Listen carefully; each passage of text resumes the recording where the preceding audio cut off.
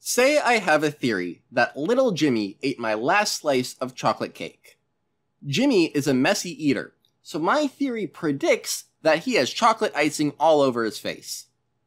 Note, though, that in the context of Bayesianism, prediction has a very specific meaning. Here, it means the probability that Jim would have icing on his face if he did eat my cake. To put it another way, we imagine what the world would look like if my theory was true.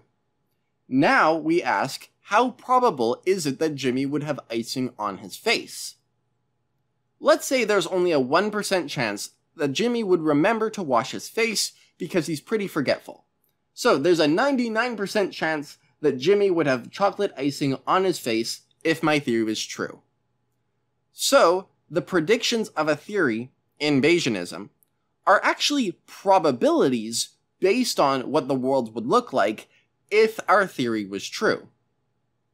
To further clarify this idea, let's look at some more examples. How well does my theory that Jimmy ate the cake predict that Jimmy would eat all his dinner?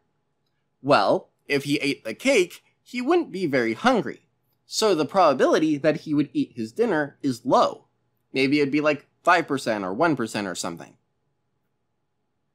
I have a theory that it's going to rain tomorrow. Does this theory predict that there would have been clouds yesterday? Even though we are talking about something in the past, we could still talk about predictions in the Bayesian sense. Because we could say, if we imagine that it is in fact going to rain tomorrow, it would probably have been cloudy a couple days before. So it's somewhat probable that yesterday it was cloudy. The probability of something, based on assuming your theory was true, is all we mean by prediction when talking about Bayesianism. So, talking about predicting past events and stuff like that actually makes sense.